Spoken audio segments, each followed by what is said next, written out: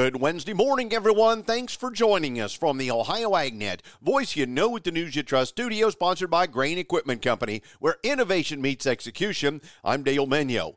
Well, effective October 31st for trade date November 1st, 2024, the Chicago Board of Trade and the Chicago Mercantile Exchange, Inc. will reset price limits for grain and oilseed futures, according to a recent news release. The second of two CME price limit resets for this year takes effect November 1, 2024. This is the second of the two price limit resets in 24 that is stipulated by the variable price limits mechanism pursuant to each product's respective rulebook chapter, stated the news release. Corn futures price limit will stay at 30 cents per bushel with an extended price limit at 45 cents per bushel. Oats futures price limit will stay at 25 cents per bushel with an extended price limit of 40 cents per bushel. The soybean futures price limit will go from 85 cents per bushel to 70 cents with an extended price limit of $1.05 per bushel soybean oil futures price limit will go from 0.035 per pound to 0.030 with an extended price limit at 0.045 per pound. Soybean meal futures price limit will go from $25 per ton to $20 with an extended price limit at $30 per ton. Chicago wheat futures and Kansas City wheat futures price limit will stay at 40 cents per bushel with an extended price limit at 60 cents per bushel. Back in 2014, the CME Group put a new percentage based daily price limit procedure in the Chicago Board of Trade grain and oil seeds products, including corn, soybeans, CBOT wheat, Kansas City wheat, soybean meal, soybean oil, oats, and rough rice. The CME noted the new methodology is a more flexible, transparent, and market based price limit setting mechanism. It would allow price limits to expand under high prices, but also allow price limits to retract when prices fall. Basically, the new variable price limit mechanism will allow higher limits when prices are higher and lower limits when prices are low. The new variable price limit mechanism resets price limits in each of the CBOT grain and oilseed futures contracts every six months, with the first reset date being the first trading day of May, according to the CME. Today's weather brought to you by Seed Consultants. Simply better performance online at seedconsultants.com. Here's the forecast. One more dry day across Ohio, and then we see a little bit of moisture trying to work in here. I'm Chief Meteorologist Ryan Martin. Let's take a look at your forecast update. Now, this one more dry day is going to be another near record breaker as we continue to see very strong southwest flow, very warm air. You know, yesterday was warm, today is going to be doggone close to it and we do, see sunshine through most of the day. We are looking at some clouds building through the overnight tonight, and that's ahead of the frontal boundary that shows up tomorrow. Your Halloween front likely bringing anywhere from a quarter to one inch of rain, coverage around 90% of the Buckeye State, and I do think it even takes a thunderstorm or two to get into the upper end of that range near one inch. I think most of us are going to be half an inch or less. We'll just have to see how it plays out. We dry down for Friday, and we see a dry Saturday as well high pressure sits right over the top of us. Clouds increase to Sunday afternoon. Scattered rain showers here overnight Sunday night through Monday, Tuesday, and Wednesday several waves of moisture coming through in that period. All in, all done, anywhere from a half to one and a half inches with coverage at 100% of the Buckeye State. We are cool behind it, or cooler, with sunshine coming back, and see very cold air coming in out of Canada across the entirety of the Great Plains as we hit the end of next week. I think that filters our direction for the weekend of the 9th and 10th. That's the way your forecast is stacking up. I'm meteorologist Ryan Martin. Joining me, Brad Miller, technical agronomist for Northeast Ohio, and we're talking about Asgrow DeKalb products. Let's talk about soybeans today, Brad. Did we learn some things about variety selection, soybeans, the fields? What all can we take from this year's unusual weather patterns and so on? Yeah, Dale, we did learn several things. The weather patterns really changed some of the outcomes of the plans that we made. I'd say over 80% of the beans are now complete as far as harvest goes What we saw this year is probably a little better performance in the 2.6 to 3.3 maturity range, where a lot of times we see the better performance in the 3.3 to 3.8 range.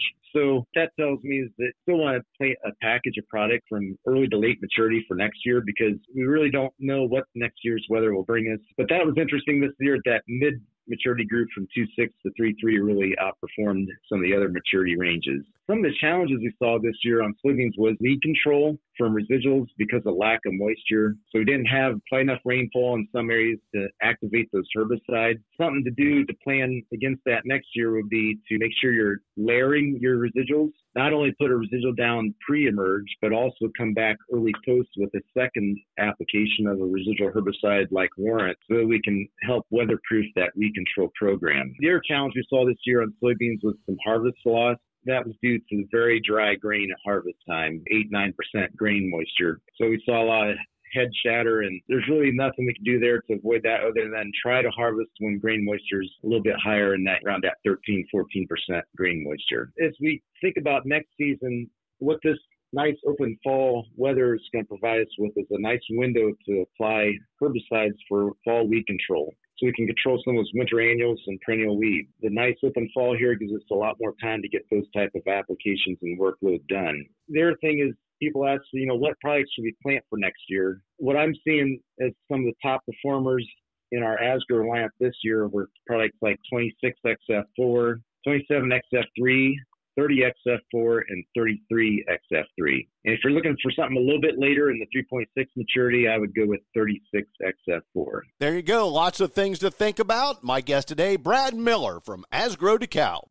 The U.S. Department of Agriculture's Forest Service announced an investment of more than $265 million to conserve nearly 335,000 acres of ecologically and economically significant forest lands across the nation, in partnership with states across the country, thanks to funding from President Biden's Inflation Reduction Act. The Forest Service will fund 21 projects in 17 states to conserve working forest that support rural economies.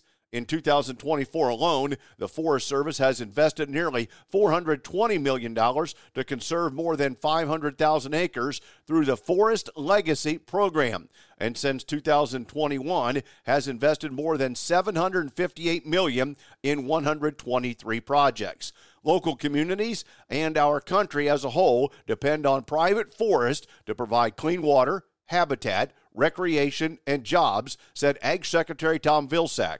Landowners face many pressures to convert forest to other uses, and this investment is key to keeping the economic, social, and ecological benefits that these forests provide.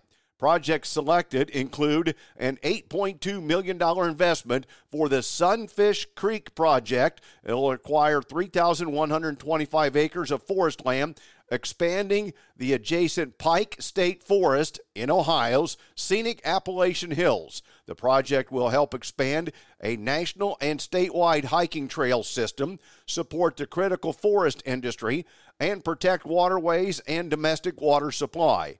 These increased benefits are expected to produce upwards of $2 million annually for Pike County, Ohio. Stay tuned back with more after this.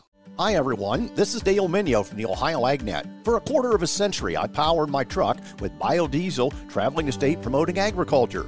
Biodiesel is a reliable, high performance fuel that works in any diesel engine without modification. The best part is that with every mile driven, I'm fueling the economy doing good for the environment, and supporting soybean farmers. Learn how using biodiesel can add value to every bushel of soybeans grown at soyohio.org. AmeriHealth Caritas Ohio is your Medicaid plan for more. More benefits, more rewards. We know that good health means more than just seeing a doctor when you're sick. Eligible members can receive extras like home delivered meals and family essentials, like baby carriers and kids' school supplies. Members can even earn rewards for playing mobile health trivia games. Learn more at AmeriHealthCaritasOH.com and call the Ohio Medicaid Consumer Hotline at 1 800 324 8680 to choose AmeriHealth Caritas Ohio.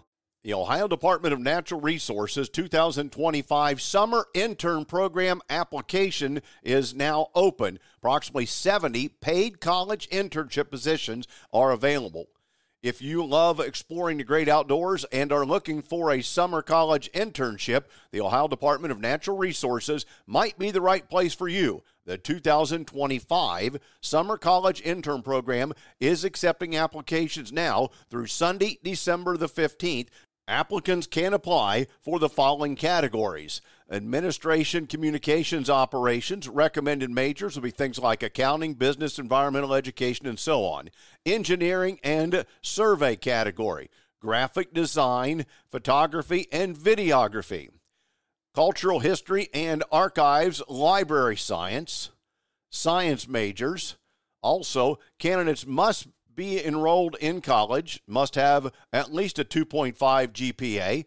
Candidates must include a writing sample. A writing sample can be a research paper or writing assignment and is generally one to two pages in length. The topic should be relevant to the internship to which the applicant is seeking. Please note resumes do not count as writing samples. Time now for the Louis Dreyfus Grain Analysis brought to you by the Ohio Soybean Council and your soybean checkoff. Here's Ryan Martin. Grain markets finished mixed on Tuesday. We had corn a little bit higher, wheat big time higher and soybeans a little bit lower. Let's start with the wheat markets. That's where a lot of the action was. Kansas City wheat up 12 to 13, spring wheat up 11 to 12, and soft red winter wheat, our local wheat, up eight and a half to 11 and three quarters. Main reason. The low U.S. crop rating that was out yesterday, uh, yesterday, or rather Monday. Uh, Monday was the first good to excellent sets of rating numbers out of the U.S. Uh, wheat belt. And um, boy, I tell you what, it was not necessarily a very good set of numbers. Not very much of the U.S. For, uh, forecast area is looking at very good crop ratings right now.